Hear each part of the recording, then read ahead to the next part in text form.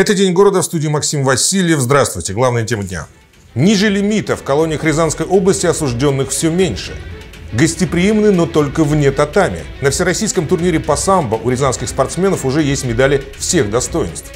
Театровидение по-рязански. В Театре кукол стартовал всероссийский проект по телеадаптации постановок. В процессе исправления осужденных одна из важнейших ролей – трудовая адаптация и возможность возмещения вреда, причиненного преступлением. С этого начал подведение итогов работы УФСИН России по Рязанской области главный федеральный инспектор Михаил Максимов. Общая численность лиц, содержащихся в учреждениях УФСИН, в сравнении с прошлым годом снизилась и составила 4326 человек или меньше 60% от установленного лимита. Остальные цифры у Валерия Седова.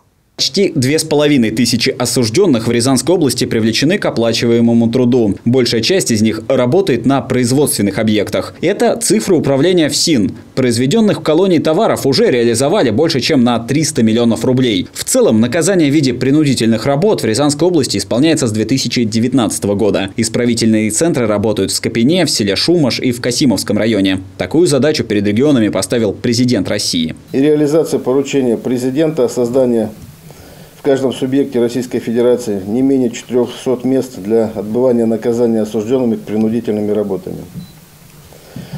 Сразу забегая вперед, хочу отметить, что мы с вами, Артем Анатольевич и Сергей Владимировичем, с этой задачей успешно справились. У нас было создано 402 места дополнительно. Вице-губернатор Рязанской области Артем Бранов поблагодарил сотрудников УФСИН за ответственную работу. Он отметил, что правительство региона заинтересовано в сотрудничестве и готово оказывать поддержку по увеличению объемов производства в исправительных учреждениях. Однако эффективное обеспечение правопорядка как на территории учреждений, так и за их пределами невозможно без взаимодействия всех правоохранительных органов. В этой парадигме отношений УФСИН России по Рязанской области работал весь прошлый год. Органами внутренних дел оказано содействие в раскрытии 406 преступлений. Наша общая задача при реализации, при реализации всех предусмотренных законом форм и методов воздействия на осужденных обеспечить их законность, прозрачность и гуманность. Решение столь ответственных задач надлежит осуществлять в тесном контакте с правительством Рязанской области, представителями общественных организаций и прокуратурой. Подводя итоги прошлого года, Александр Комков обозначил новые цели и задачи на 2023 год. Как минимум придерживаться хороших показателей, как максимум превзойти их. В Рязани взрывотехники ОМОНа обезвредили боеприпас времен Великой Отечественной войны. И не абы что, а осколочно-фугасную авиационную бомбу АФАБ-250-270. Группа разминирования установила, что на корпусе найденного местным жителям боеприпаса есть следы сильной коррозии. Хвостовое оперение деформировано, взрыватели в носовой и тыльной стороне, а также маркировочные данные отсутствуют. В представленном виде предмет не представлял опасности для транспортировки, но как говорится, раз на раз не приходится. В сети есть видео подрыва таких бомб, и зрелище это впечатляет. Управление Росгвардии по Рязанской области напоминает жителям и гостям региона, при обнаружении подозрительных предметов не трогайте и не передвигайте их, а сразу обращайтесь в экстренные службы. С сегодняшнего дня в Рязани заработала единая медицинская информационная система. Ее внедрят во все медучреждения региона. Здесь будут все разделы экстренной помощи, свыше 100 систем и модулей. Сервис интегрируют с госуслугами, чтобы пациенты могли записываться на прием к врачу онлайн, иметь постоянный доступ к своим данным, видеть назначения и пользоваться специальным мобильным приложением. Какие еще изменения ждут нас в феврале, расскажем далее. С сегодняшнего дня в России вырос материнский капитал. Его проиндексировали на 11,9% размер инфляции. Для семей с первым ребенком выплата составит 586 946 рублей, а для тех, у кого родился второй ребенок – 775 628 рублей. Доплата при рождении второго ребенка в случае, когда семья ранее уже оформляла материнский капитал, составит 188 681 рубль. С 1 февраля проиндексированы пособия по беременности и родам при рождении ребенка минимальная и максимальная выплаты по уходу за ребенком до полутора лет. Всего же в России проиндексируют порядка 40 социальных выплат. Сегодня вступает в силу порядок ежемесячной соцвыплаты мобилизованным. Ее начисляют со дня назначения на воинскую должность и до дня освобождения от таковой включительно. Для контрактников до дня вступления в силу контракта. Начислять деньги будут на основе приказов командиров воинских частей, руководителей Организации Вооруженных сил России, в которых мобилизованные граждане проходят военную службу. Если мобилизованному задержали выплату или выплатили меньше, чем положено, в дальнейшем он сможет получить ее за весь период, в течение которого она полагалась, но не более чем за три года, предшествующие обращению. Новый закон, вступающий в силу с 1 февраля, гарантирует всем должникам сохранение на счетах несгораемого остатка от зарплаты или пенсии в размере прожиточного минимума. Для этого нужно подать заявление в подразделение судебных приставов, где ведется исполнительное производство. Данное послабление распространено почти на все категории должников, исключение составляют алименщики. С 1 февраля начал действовать закон, по которому сведения о том, что дом аварийный, будут включать в единый госреестр недвижимости, ЕГРН. Таким образом, жители страны защитят от покупки жилья в аварийных домах. Документ предполагает создание механизма информирования граждан об аварийном состоянии домов и их непригодности для проживания. Региональные и муниципальные органы власти, которые принимают решение о признании многоквартирного дома аварийным и непригодным для проживания, будут направлять в Росреестр сведения о своем решении. Росреестр, в свою очередь, будет включать эти данные данные выписки из ЕГРН.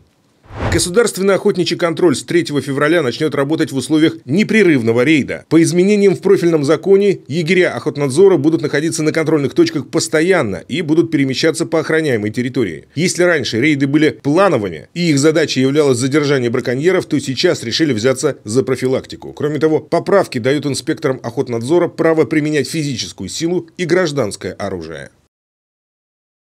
Партнером программы «День города» остается выставка продажи икра и рыбы «Камчатская». 35 видов рыбы слабого посола, горячего и холодного копчения, а также красная икра премиального качества. Все это у торгового центра «Премьер» до 4 февраля включительно. Рязань, встречай! Свежий улов прямо с Камчатки. Чавыча, красная икра, белорыбица. Все от производителя. С 30 января по 4 февраля. ТЦ «Премьер». На всероссийский турнир ФСИН по самбо в Рязань приехало больше 450 именитых спортсменов со всей страны. Но рязанские сотрудники ведомства на татами отнюдь не затерялись. Медали они получают каждый день.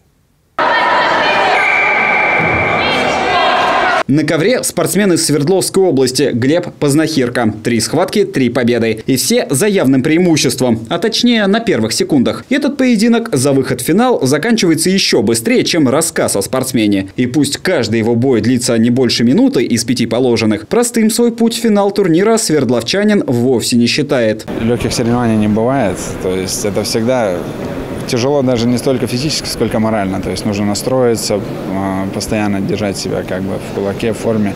И легких соперников не бывает. То есть всегда нужно выходить и доказывать всем то, что ты лучше и сильнее. Поэтому и здесь, и везде. Глеб – младший сержант внутренней службы ФСИН. В целом в чемпионате России по самбо участвуют сотрудники ведомства из 53 регионов страны. Отличий от обычного чемпионата по самбо нет. Представлены все весовые категории, схватки также по 5 минут. Единственное, каждый спортсмен либо действующий сотрудник ФСИН, либо учится в соответствующем вузе. По итогу первого дня рязанцы золото не взяли, но все было еще впереди. Вчера э, два рязанца были третьими, э, и Егор Осипов в финале проиграл, к сожалению. Вот. Так что, ну, сегодня, я думаю, сенсации не будет. Э, то есть вы сейчас поговорите с Куржевым. Вот. Борется легко, очень, как, ну, очень легко борется. Прям вот, ну, на него всегда приятно смотреть. Уали Куржев – спортсмен из Рязани. Один из самых титулованных отечественных самбистов. Четырехкратный победитель чемпионата мира. Для него это 12-й всероссийский турнир по самбо. Прошлые 11 закончились победой. И прямо сейчас Уали будет пробовать разменять дюжину финалов.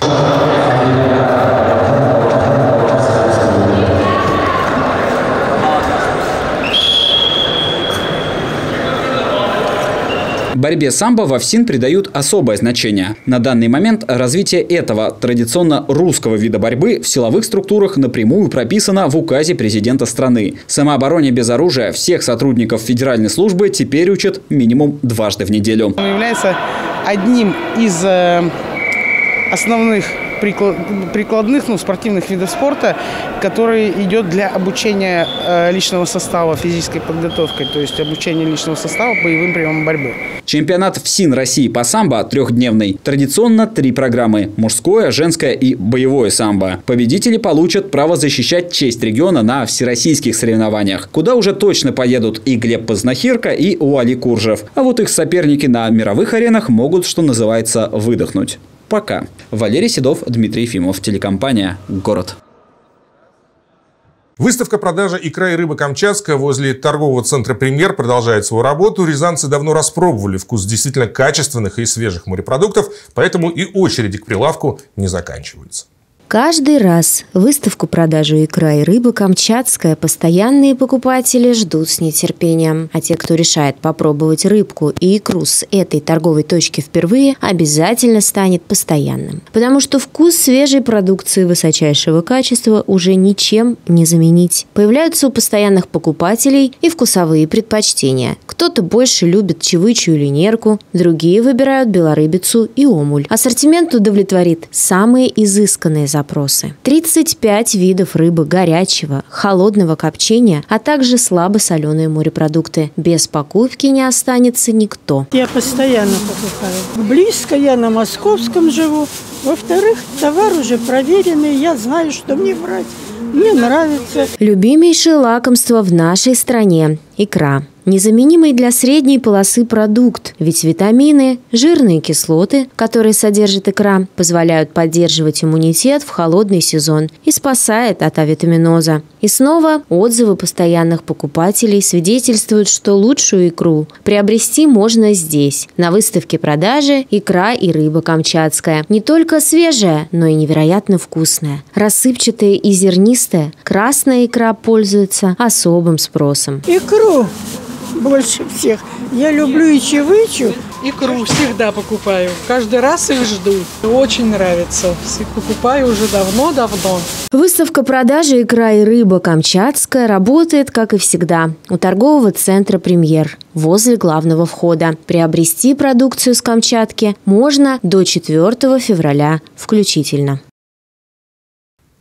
В Рязанском театре кукол стартовал всероссийский проект «Театровидение». По старой доброй традиции будут создавать видеоверсии спектаклей. И первым таким фильмом-постановкой станет «И наказание» режиссера Олега Жюкжды. В Рязани и пяти других городах, а затем и по всей России откроют творческо-технологические центры, в которых будут поддерживать специалистов по использованию видео в театре.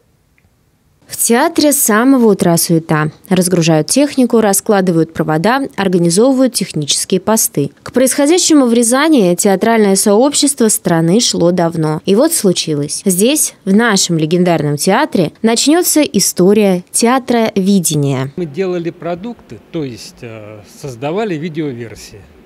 А сейчас мы пытаемся научить это делать как можно больше профессионалов. Причем делаем это не спеша, не торопясь, потому что профессионалов. Но, тем не менее, как можно больше. Потому что задача у проекта у меня достаточно, я бы сказал, противоречивы. С одной стороны, качество, а с другой стороны, больше. Все, что здесь э, сейчас происходит, это делается впервые – Платформа театровидения уже существует в сети. На ней любой театральный коллектив может завести свой кабинет, где будет размещать видеоконтент. Снять и смонтировать театральный контент – задача не из простых. Зафиксировать спектакль, донести до зрителя неуловимое, витающее в самой атмосфере. Этому и будут обучать в рамках театровидения. В нескольких регионах создадут технические центры, флагманы проекта. Первым таким центром стал Рязанский театр кукол. Это старт, это долгосрочная перспектива, потому что у любого театра есть, э, конечно же, и э, большая репертуарная афиша. Э, у многих театров есть образовательные проекты, семинары, мастер-классы. Поэтому вот это все.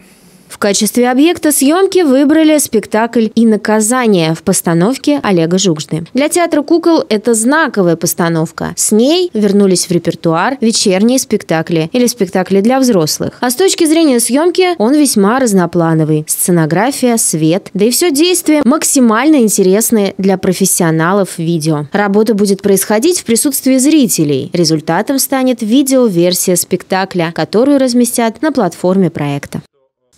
На этом у нас все. Еще больше новостей на нашем сайте www.город62.tv и на наших страничках в соцсетях. Всего доброго.